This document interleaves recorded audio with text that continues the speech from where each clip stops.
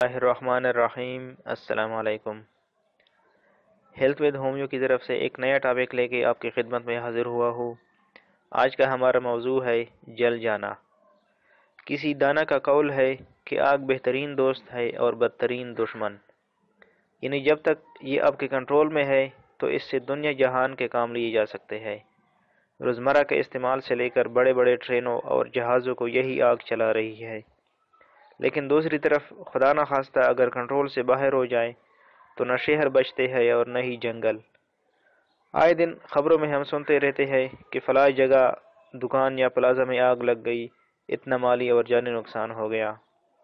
مختصر یہ کہ جب یہ دوست دشمن بنتا ہے تو ایک معمولی سی چنگاری قیامت سغرا کا منظر برپا کر دیتی ہے۔ اور اگر خدا نہ خواستہ انسان یا کوئی بھی زیروح اس کے حتے چڑھ جائے تو جو تکلیف ہوتی ہے وہ صرف وہی بندہ جانتا ہے جو جل رہا ہو۔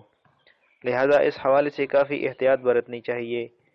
اگر خدا نخواستہ ایسا کوئی واقعہ پیش آتا ہے تو اس صورت میں ہومیوپیتھی آپ کی مدد کے لیے پیش پیش ہے۔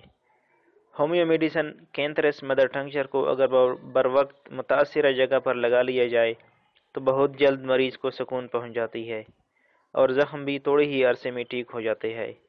اسی مدر ٹنکچر کو دن میں تین دفعہ لگانے کے ساتھ ساتھ کینترس یعنی اسی دوا کو ترٹی پوٹینسی میں لے کر دن میں چار دفعہ پندرہ پندرہ قطرے آدھا گلاس پانی میں ملا کر پینے سے بہترین رزلٹ ملتا ہے۔ امید کرتا ہوں ویڈیو آپ کو پسند آئی ہوگی۔ اگر واقعی ایسا ہے، تو اس چینل کو سبسکرائب کرنا مت بھولیں، کیونکہ یہاں پر آپ صحت کے حوالے سے مزید اس طرح کی مفید ویڈیوز دیکھ سکتے ہیں۔ نیکسٹ ویڈیو تک کے لیے اجازت دیجیے اللہ حافظ۔